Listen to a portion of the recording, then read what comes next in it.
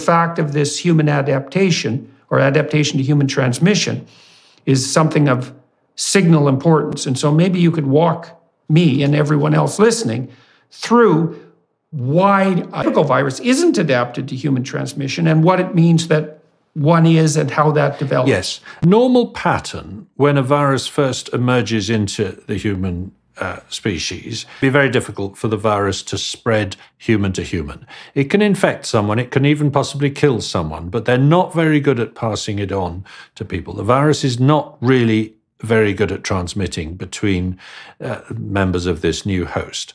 Now, if enough time goes by with enough infections happening, then eventually it will get good at it. And that's what was starting to happen with SARS in 2003. It infected people in the, in the fall of 2002.